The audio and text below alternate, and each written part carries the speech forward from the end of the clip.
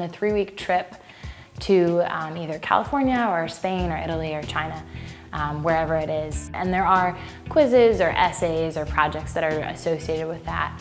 We were learning about current events in China. We learned about Chinese menus, about Chinese culture, um, Chinese language. We, we had a couple different um, language sessions so we could learn just very basic numbers and um, conversational Chinese so that we can kind of fare over there. So every day on our way to different locations or to meet different people, we in the bus, we would, uh, whoever the group leader for the day was, would give us all five questions.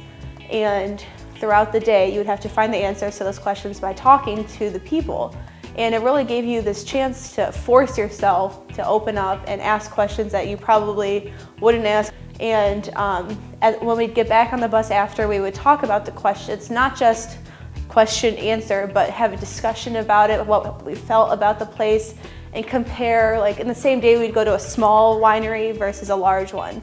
And we would talk about how they're different, which one we liked better for certain reasons, what we didn't like, and uh, we did presentations on all the places we went. So before you're arriving, you already have background information. So when you're there, you're open and receiving all of everything they're telling you.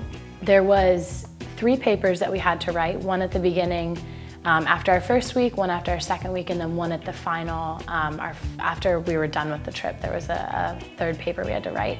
And then in addition to that, we also had two quizzes during the trip, um, one, one on the first week and one on the second week, where we were given a piece of paper by Chef Chang and it was in Chinese. It was in Chinese characters, but then there's also um, sort of a, an English phonetic sounding for the word. So we had that, but there was no English translation anywhere on the paper.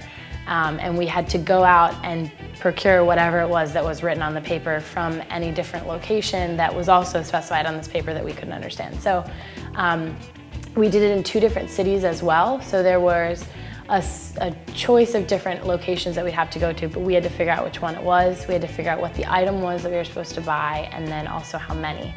Um, so we would rely on other people, again, the, the goodness of strangers to try and translate things and point us in the right direction.